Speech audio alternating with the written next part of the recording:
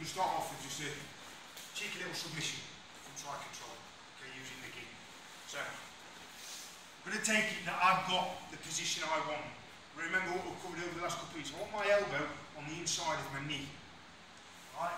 Because if I get this, it restricts the movement in his arm much more. And if you notice, look, I'm slightly, I'm not at 90 degrees to him, and I'm slightly higher up. This achieves a couple of things. One, it helps me secure the shoulder and the arm. Remember, body like a capital I. Shoulders, hips, spine.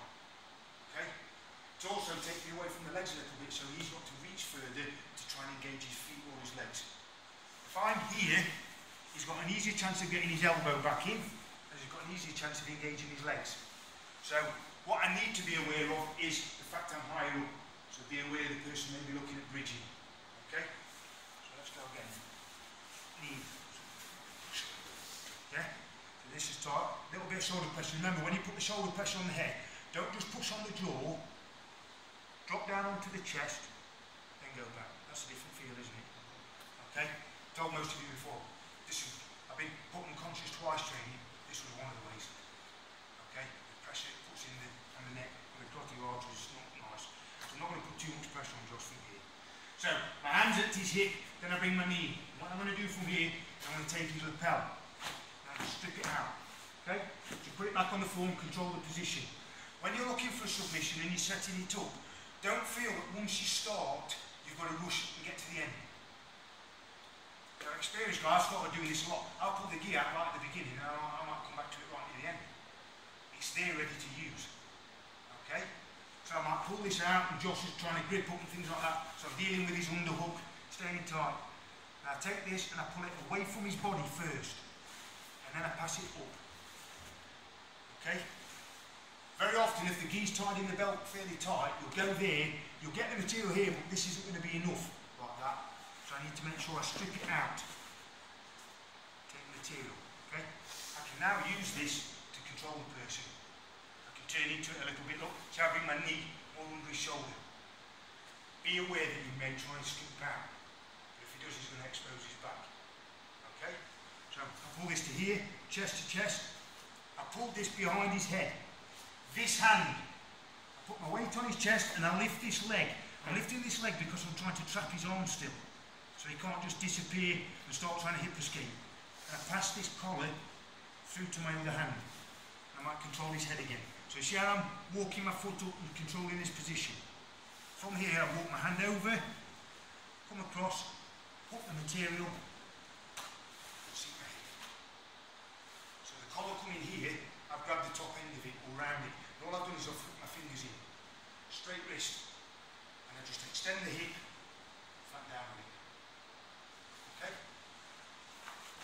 Yeah. Side control. Yeah.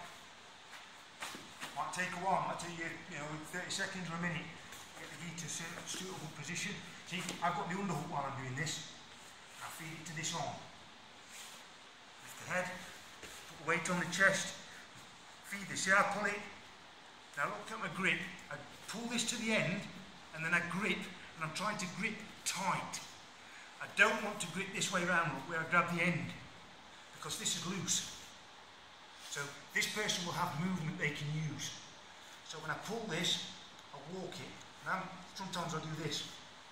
See, I've cinched it up little bit by little bit. This comes round, material. By putting my arm on his, uh, my head on his arm, I'm making it difficult for him to try and defend this technique. And then I just slide away. Okay? It's surprising how relatively easy this is to set up. Okay? There is a variation of it. Something. Yeah. I can come over this way. show them. Okay, that's all I've done. The fingers, not in it, the grip like that, the fingers. With that one, I can use the wrist into the neck a little more as well. So it depends on, again, when you're feeding this through. People wear different thick gis. Sometimes you're pull and you think, I can't get it all the way around here. So it might be that you've got to come around the back here. The only danger is when you do this, Don't lean too far over, if you can help it, until you've got the grip. Just pull this out.